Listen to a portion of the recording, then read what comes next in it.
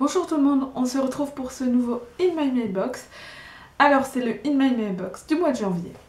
Donc euh, pour ceux qui regardent régulièrement mes vidéos, vous savez que je me suis lancé un petit euh, challenge il y a quelques temps, à savoir ne pas acheter plus de 3 livres par mois. Donc je vous annonce directement, j'ai loupé, j'ai acheté genre 15 livres. Donc voilà, j'ai complètement loupé ce, ce petit challenge que je m'étais lancé. Donc c'est dommage, mais bon, d'un autre côté, je me suis fait plaisir avec mes livres et voilà. J'ai pas trop envie de me culpabiliser. Pas pour cette fois, peut-être la prochaine fois. Donc euh, bon, bah sans plus attendre, je vais vous présenter ces livres. Alors pour commencer, j'ai gagné un livre. Donc c'est Le Pistolero, donc euh, le tome 1 de La Tour Sombre euh, de Stephen King. Donc je l'ai gagné sur le blog Le Cafarnum éclairé. Donc je vous mets le lien de ce blog en barre d'infos qui est en, en partenariat avec les maisons d'édition J'ai lu. Alors je suis super contente d'avoir gagné ce livre parce que parce que je bon je l'avais déjà hein, vraiment mais euh, je suis vraiment très contente de l'avoir gagné parce que j'avais une version euh, différente donc euh, toujours chez J'ai lu mais avec une couverture différente, un format plus petit et du coup ça n'allait pas forcément avec les tomes suivants que j'avais donc voilà ça tombe plutôt bien puisque de toute façon je voulais avoir cette version là finalement. Donc voilà, je remercie le Café Arnaud éclairé et la maison d'édition J'ai lu euh, de, m'avoir envoyé ce livre qui me tente beaucoup. Ensuite, j'ai acheté mon premier manga, à savoir Tokyo Underground, donc le tome 1 de Akino, Akinobu Uraku. C'est compliqué à prononcer. Donc euh, je ne connaissais pas du tout, hein, je, je connais vraiment pas l'univers du manga. Mais bon, il, était, il y avait des mangas à 50 centimes à Nose. Et donc voilà, je, je l'ai acheté un peu par hasard, euh, sans, avoir prévu quoi que ce soit. Donc voilà. Ensuite, euh, à la librairie où je travaille, j'ai acheté un marque-page, deux livres, et j'ai également reçu euh, un marque-page, étant donné que acheté des livres, les marque-pages publicitaires, mais celui-ci est très joli, donc j'ai envie de vous le montrer. Donc pour commencer, j'ai acheté celui-ci. C'est un petit marque-page d'un tableau de Je ne sais pas si je le prononce bien, donc euh, que je trouvais tout simplement magnifique, voilà. Donc il est magnétique et j'avais envie de me l'acheter parce que j'ai craqué dessus. Et puis j'ai reçu euh, lors de mes achats celui-ci, donc un marque-page que je trouve très sympa, hein. il est en papier cartonné, très simple, mais euh, que j'aime beaucoup parce que c'est les éditions Galmester, éditions que j'aime beaucoup, que je viens juste de découvrir, enfin de connaître un peu mieux et j'adore, tout simplement. Ensuite, donc euh, au niveau des livres achetés à la librairie, il y avait Les talons rapprochent les filles du ciel de Olivier Gay. Donc j'ai envie de le lire depuis quelques temps. Et puis euh, je voulais acheter un livre, je ne savais pas trop lequel. J'ai regardé dans ma wishlist. J'ai vu celui-ci et voilà. Je me suis dit, on part pour celui-ci. Et euh, donc du coup je vais essayer de le lire bientôt. Je suis vraiment embêtée par ce bandeau. J'aime pas les bandeaux et on peut pas l'enlever. Je trouve pas c'est. Je trouve ça moche, tout simplement. En plein milieu de truc, j'aime pas du tout. Donc euh, voilà, bon.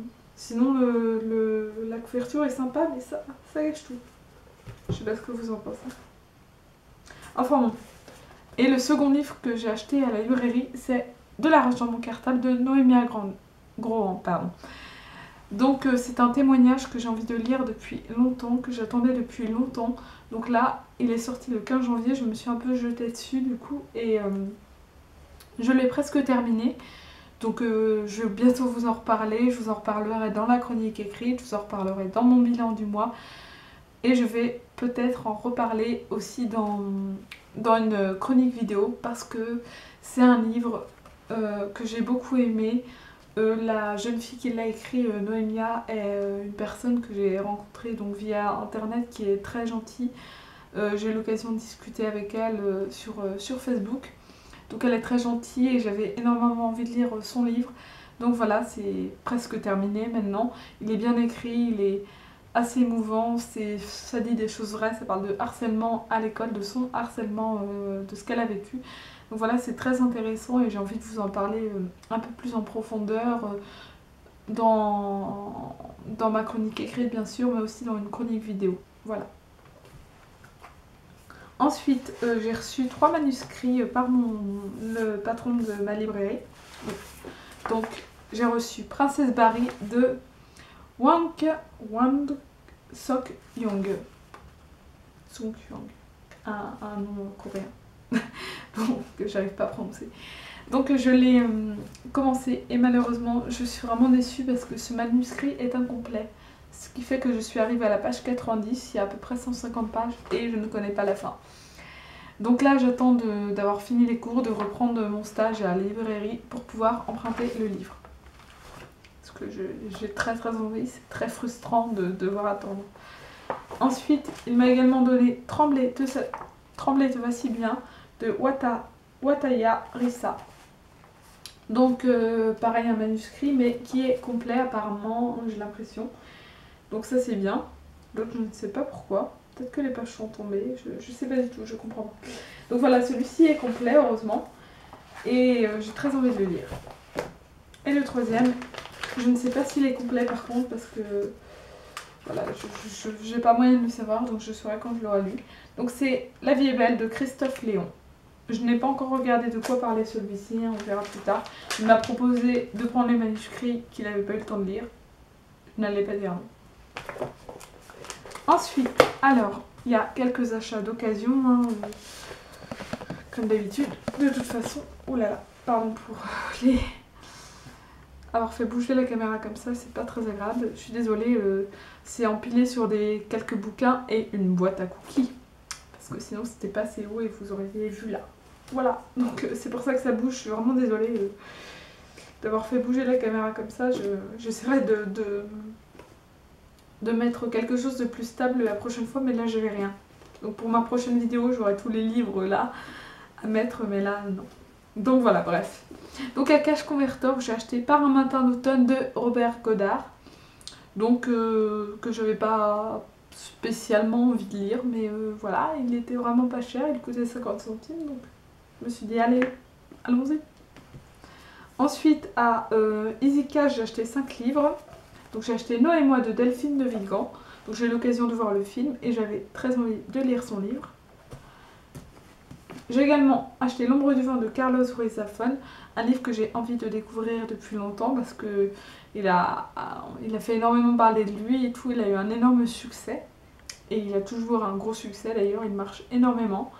Donc voilà, c'est un livre qui m'intrigue beaucoup, euh, le résumé me plaît beaucoup et j'ai très envie de lire, tout simplement. Et ensuite, pour les trois derniers, il s'agit de Stephen King, trois livres de Stephen King. Donc Peur bleue, que j'ai envie de découvrir depuis longtemps, et Anatomie de l'horreur, le tome 1, et le tome 2. Donc pour Anatomie de l'horreur, il s'agit en fait d'une sorte d'autobiographie, j'ai l'impression. Donc on verra bien ce que ça va donner. Ensuite, sur Presse Ministère, j'ai acheté 5 livres, donc euh, à deux vendeurs différents. Donc, vu que j'ai acheté plusieurs livres au même vendeur, j'ai pas payé trop de frais de port. J'en ai acheté 3 à un vendeur et 2 à l'autre. Voilà. Donc j'ai acheté Montana 1948 de Larry Watson, donc aux éditions Galmester, dont je vous parlais tout à l'heure en vous montrant marque-page. Voilà. J'ai acheté Le Signal de Ron Carlson, toujours Galmester. J'ai acheté Le Silage de l'oubli de Bruce Machard, encore et une fois euh, Galmester. comme vous pouvez voir, ce sont des, jolis livres avec toujours une jolie présentation. Vraiment, j'aime beaucoup. Et euh, c'est vrai qu'ils sont pas donnés, c'est pour ça que je les ai achetés d'occasion. Hein. Je les ai pas payés cher, euh, surtout si on compare au prix qu'ils coûtent de base, hein, 23,60€ pour celui-ci. Le prix de base, hein, pas le prix que j'ai payé, pour vous donner une idée. Donc voilà, c'est relativement cher. Donc euh, pour le moment, je suis en train d'en lire un que j'aime beaucoup et j'en ai lu un que j'ai adoré, qui est juste un gros gros gros coup de cœur, qui sera sûrement un de mes... qui est mon coup de cœur du mois de janvier de toute façon. Donc bon, je l'ai lu et je vous le montre. Il s'agit de Suck One Island de David Val. Donc euh, je l'ai lu avant de l'acheter puisque je l'avais emprunté en petit format à la librairie. Et donc voilà, je le voulais absolument et puis si possible en grand format. Donc voilà, je me suis fait plaisir. Il est vraiment très très bien. Et puis euh, j'ai acheté au même vendeur du coup, vu que, j'ai repéré ce livre euh, dans, son truc et que j'avais envie de le lire et que je voulais pas payer euh, des frais de port uniquement pour One Island, je me suis dit tant qu'à faire pour un euro de plus de frais de port et quelques, quelques misérables euros de plus pour, pour le bouquin, autant profiter. Donc bon, cessons de blablater. Il s'agit de Le livre sans nom de Anonyme. Donc c'est la saga Bourbon Kid, hein, vous en avez peut-être entendu parler. Ça me fait très envie aussi. Voilà. Donc euh, bah, ce sera tout pour ce de My Box. C'est la deuxième, troisième fois que je tourne cette vidéo. Je commence à en avoir un petit peu marre, c'est pour ça que je suis allée rapidement. Parce que hum, la première était très très sombre, c'était pas possible. La seconde, le début de la vidéo buguait complètement. Je ne sais pas pourquoi. Donc voilà, cette fois j'espère que c'est bon parce que j'ai plus envie de la retourner. De toute façon, si vous la voyez, c'est que c'est la bonne. Hein la troisième fois sera la bonne.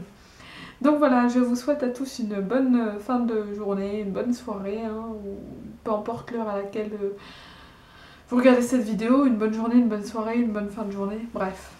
je vous dis à bientôt quoi, tout simplement. Salut